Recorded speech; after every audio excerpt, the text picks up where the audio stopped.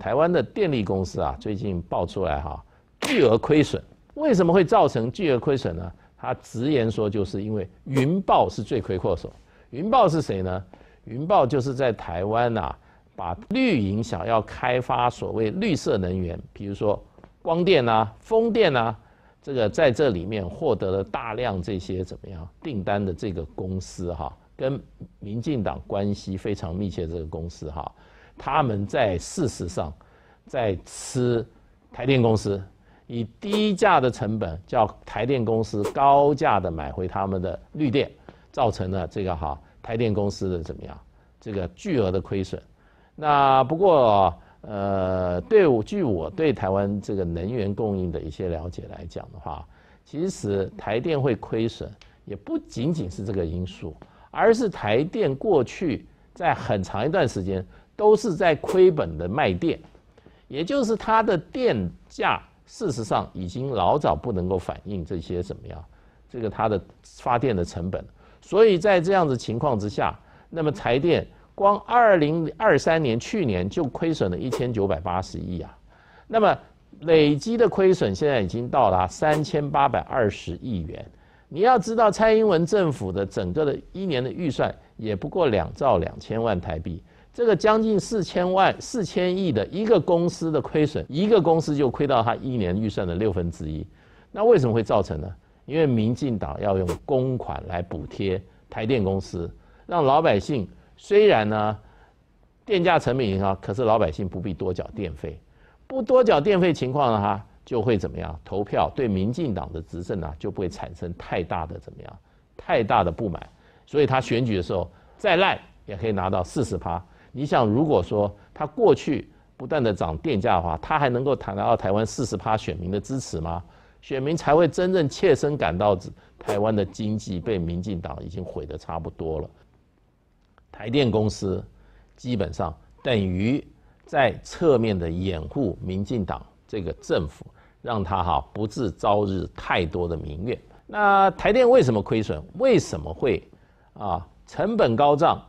当然啦，成本高涨是过去啊两三年哈，尤其俄乌战争开打以后，全世界能源价格怎么样往上提升呢？那另外一方面呢，在民进党他对于台湾的能源呢，他有一个政策叫什么？第一个非核家园，也就是他在二零二五年要把台湾所有的核电怎么样都要取消。你知道台湾的核电过去占台湾总发电的比例，通常大概在百分之十到百分之十五之间。那这一个。这一个百分之十到十五这个电力哈，它的发电成本是最低的，也就是发电成本最低的就是核能发电。那么它过去它要非核家园，所以它不断的把很多核能电厂啊，已经盖好的核市场它不准你营运，花了四千亿，结果放在那边哈养蚊子，不能够营运。另外核一、核二、核三呢，它要怎么样？核一要退役啊，核二要退役啊。所以他要逐年把台湾核电的怎么样供给的量哈，都要把它最后归零。你想想看，最便宜的电不能够提供哈，那你剩下来什么就要用比较贵的电呢？那最贵的电是什么呢？最贵的电就是所谓的再生能源，也就是绿色绿电。绿电是什么呢？太阳能、风电，主要这两个。蔡英文政府把台湾的风电都卖给了欧洲的厂商。一度电要卖到将近六块钱一一度，这跟这个哈只要一块多钱一度的这个核电、核电、核能发出来的电，你看是差了五到六倍啊。也就是说，你发电的成本一下多了五到六倍，你能不亏损吗？你又不调涨电力电费，你能不亏损吗？而这里面像风电将近六块。太阳能电也相当的贵，太阳能电是交给民间的电厂，你去搞一块地，然后呢，你去搞一些哈这些太阳能面板在这边搭起来以后呢，你发的电你就可以回卖给台电公司，而台电公司是用高价买这些电的，绝对呢不是像这个哈台电的核能电厂那么一块多钱一度电的，它有的三块，有的四块，那么完全看你这些哈他们之间的合约怎么圈。所以呢，这些民间在这片所谓的圈地来搞这些太阳能面板的哈，就被民进党的这些绿油油绿色关系哈来充分的怎么样掌握，都掌握他们手里，然后呢跟台电签约，反正哈是稳赚不赔的。最后呢台电买单，然后呢政府在幕后补贴，所以呢这是造成台电亏损很重要原因。另外一方面呢，台电呢它除了核电是最节省、最最最最最便宜的，它第二便宜的电是燃煤火力发电厂。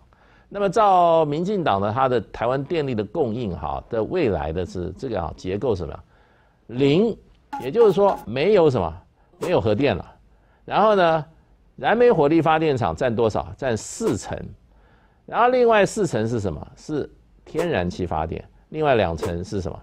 是所谓的哈像这个叫再生能源，就是风电跟这个太阳能电。所以你看看风电跟太阳能电贵。然后呢，供给不上来，因为怎么样？台湾地狭人稠啊，找不到地啊。台湾插风电也没有那么多地方可以插风电，所以呢，这个再生能源一定上不来，上不来又比较贵，所以呢，台电基本上今天真的是有口难有苦难言。所以呢，整个来讲，台湾电力结构就是因为民进党用政治的角度订立了所谓的这个哈供给的这个分配比例啊，造成台电哈。必然亏损，财政来补贴，让台电怎么样？亏损不会倒。可是现在呢，选举完了以后啊，丑媳妇要见公婆啦，现在就开始要怎么？开始调降了，调电了。所以呢，台湾人民呢，就再次被欺骗了一次。票投给了民进党，他得了票以后呢，马上呢就跟你要钱。然后呢，我想台电能够解决问题的唯一办法就是调升电力啊。这个好，民进党政府啊。就等于说啊啊，目的达到了，回过头来就从老百姓那边哈口袋里面开始捞钱了，这就是台湾能源政策的一个悲哀。